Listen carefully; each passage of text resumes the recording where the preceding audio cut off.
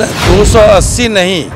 मैं समझता हूँ अट्ठाईस सौ कह लीजिए इसको। कुल ये विभागीय लापरवाही है। ये हादसा है। सबसे बड़ी दुर्घटना है। जिम्मेवारी तय होनी चाहिए और इस्तीफा देना चाहिए रेल मंत्री जी को। नमस्कार, आप देखना शुरू कर चुके हैं लाइव सिटीज़ मेरा नाम अभिषेक है। पूर्व सांसद आनंद मोहन मुजफ्फरपुर आए थे। इस दौरान उनका भव्य स्वागत किया गया है। इस दौरान उन्होंने जो उड़ीसा में हुई घटना को लेकर साफ़ साफ़ कहा कि रेल मंत्री को नैतिकता के आधार पर इस्तीफा दे देना चाहिए और जिस तरीके से अभी आंकड़ा है वो आंकड़ा बा, बाकी है आना बाकी है 2800 तक ये आंकड़ा जा सकता है क्योंकि ये बहुत बड़ी घटना है। ऐसे में रेल मंत्री को नैतिकता के आधार पर इस्तीफा दे देना चाहिए। तो आनंद मोहन ने रेल मंत्री से इस्तीफा मांग दिया क्या कुछ कह रहे हैं आनंद मोहन? पहले आप वो सुनिए। जी, जी। रात हो या दिन हो हमेशा खड़े रहते हैं। जी जी जी। क्या कहेंगे? कहाँ से यात्रा कर नहीं ये तो बहुत ही हमारे लिए फख्र की बात है।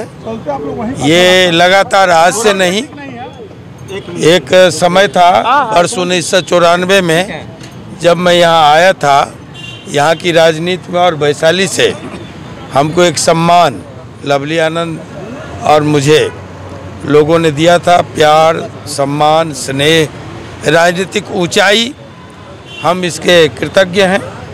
अनु ये आभार है उन लोगों का।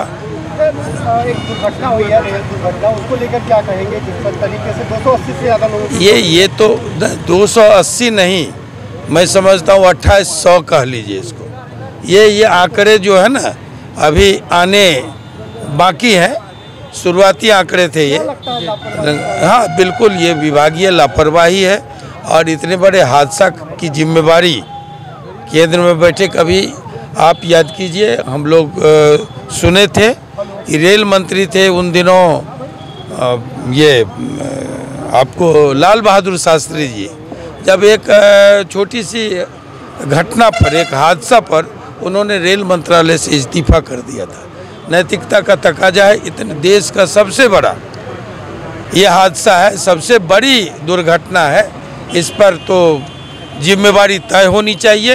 और इस्तीफा देना चाहिए रेल मंत्री जी तो आपने सुना कि आनंद मोहन ने क्या कुछ कहा? उन्होंने साफ़ साफ़ कहा कि रेल मंत्री को नैतिकता के आधार पर इस्तीफा दे देना चाहिए। जिस तरीके से उड़ीसा में घटना हुई है, ट्रेन हादसा हुआ है, उसमें 280 से अधिक लोगों की मौत हो गई है। इसको लेकर उन्होंने साफ़ साफ़ कहा, आंकड़ा आना अभी बाकी है। ये आंकड़ा बहुत ज़्यादा जा सकता है और ये सबसे बड़ी घटना है। ऐसे में उन्होंने एक घटना का भी ज़िक्र किया जब इस्तीफा दिया गया था नैतिकता के आधार पर तो वैसा ही इस्तीफा दे देना चाहिए, रेल मंत्री को इस्तीफा दे देना चाहिए। और उन्होंने कहा कि मुजफ्फरपुर तो मुझे बहुत प्यारा है, क्योंकि उन्नीस सौ चौरानवे में यहाँ पर लोगों ने सम्मान दिया था मुझे, और लवली आनंद जी को सम्मान दिया था। बड़े रहिए लाइव के साथ हमारे यूट्यूब चैनल को सब्सक्राइब करिए फेसबुक पेज को लाइक करिए।